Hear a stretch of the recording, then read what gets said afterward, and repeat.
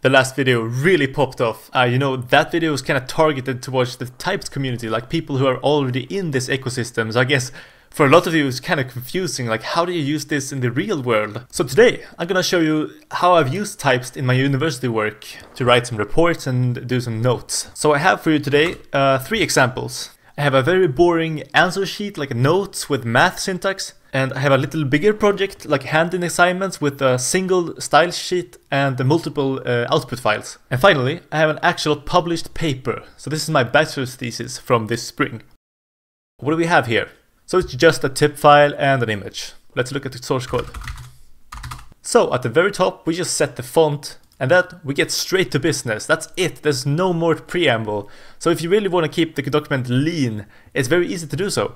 And how does this look rendered? Instead of using Typst preview, because some of you guys were actually confused, is this like a web framework or is this a PDF compiler? No, this replaces LaTeX. So it compiles to PDF and SVG actually, but there are actually efforts in the pipeline to make Typst able to compile to HTML. But it's very early stage right now, I think.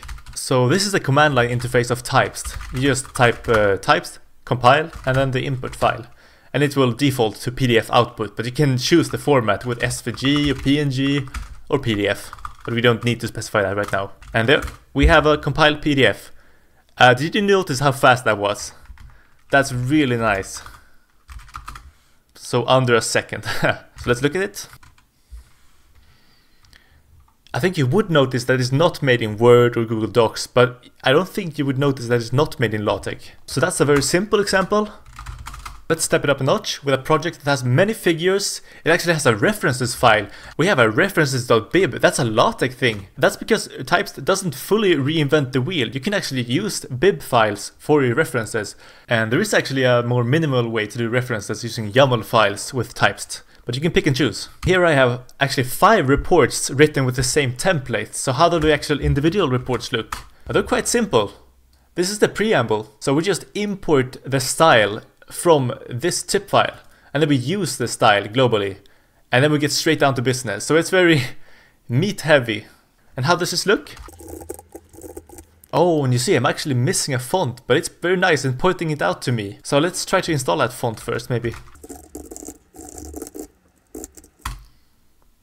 Maybe not that interesting. It has figures, it has sub-figures, and it has math. Do we have anything more interesting in the other hand-ins? Now here's a very quick way to just compile all the Typst files using fd. I love this command.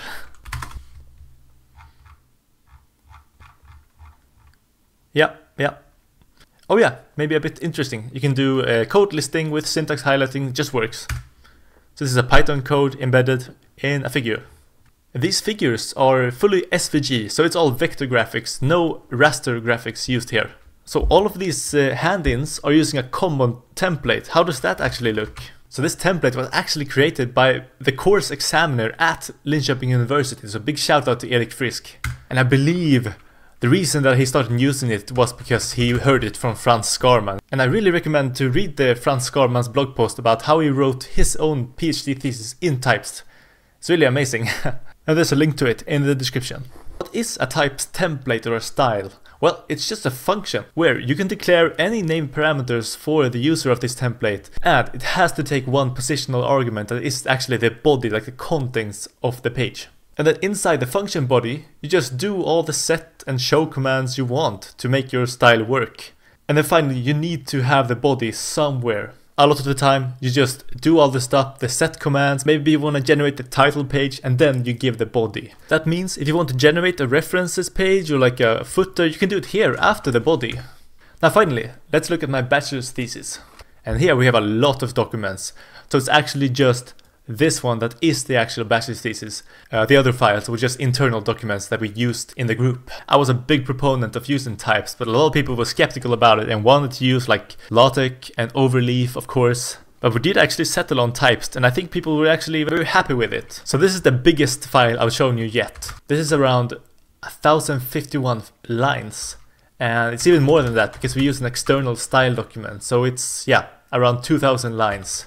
If we compile it, we're missing a font again. Now we have PT Sans installed, so let's go. Okay, that took a bit more time actually. Let's look at it. So this actually takes around a second to compile. But how many pages is this? This is 50 pages. And it has a custom header there with a logo. Uh, it has uh, a bunch of references, figures, it has an abstract, and we automatically generate the table of contents. It has hyperlinks, you can press them to jump to exactly the heading. And this list of all the figures and the pages are also automatically generated. Same here for all the tables. It starts to add up. This really can boost your productivity. Now, I know probably a lot of this, or maybe most of this, can be done in LaTeX. It's just, I just think that the LaTeX syntax is so much uglier and it doesn't really inspire you to do this stuff.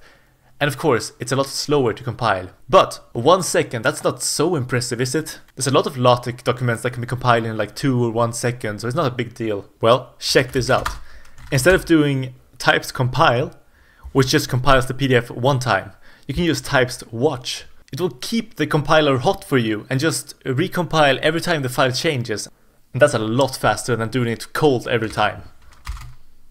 Now, I have Typst watch open here, and I have the PDF opened. Now let's say we edit this uh, abstract a bit.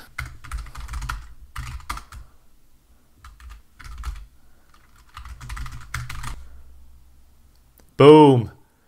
You see? It's still a couple of milliseconds, but if you really want to make this fast, then you use something called TinyMist, which has very nice connections to NeoVim, VS Code, I think Helix too. But you can't just use the TinyMist as a command line utility too. So if you use the TinyMist previewer, it's a lot faster.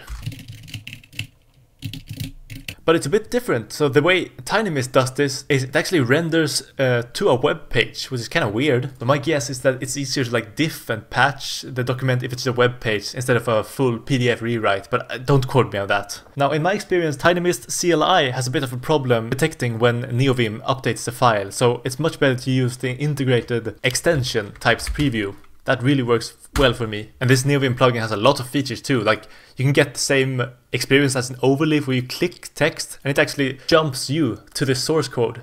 And the reverse too. You can jump to a paragraph here and it will jump you to the rendered text here. And you can see now the text, the preview is nearly instant. So that's awesome. And I think to wrap this up, I just cannot understate how fast Typst is. I have here a top level make file, which will just find all the Typst files and compile them. So now if we do make-j, we can do as many jobs as possible in parallel. Dude, that was 20 documents in like, how long was that? That's 20 documents in under 2 seconds, unheard of. I will push this code to my GitHub, so check out the link in the description and have fun!